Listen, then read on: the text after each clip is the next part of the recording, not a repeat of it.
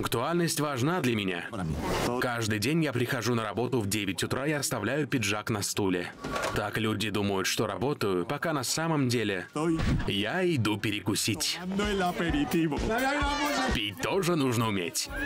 Перекусы нужно тщательно продумывать. Я люблю начинать с вина и креветок.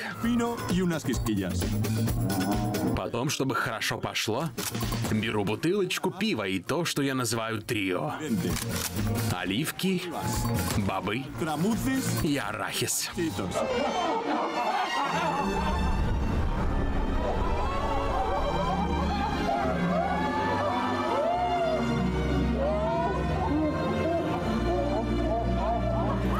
Блин, уже 12. Ровно в 12 я возвращаюсь в офис и перекладываю бумаги. Это создает видимость бурной деятельности. Ну и денек, боже.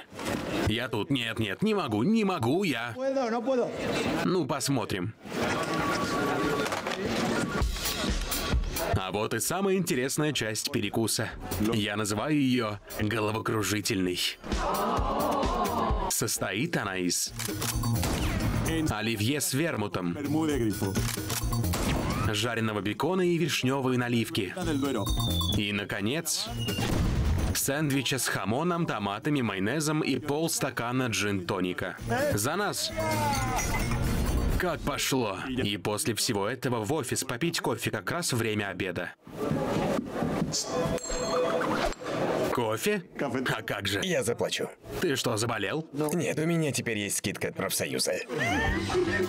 А это Хулиан, мой лучший друг в этом офисе, глава отдела закупок и представитель профсоюза. Смотри в оба, будь в форме, шевели задом и будь молодцом. Он уже давно здесь работает и многого добился для сотрудников. Мы не можем поднять зарплату, зато у вас будет 10-минутный перерыв на кофе. Спасибо.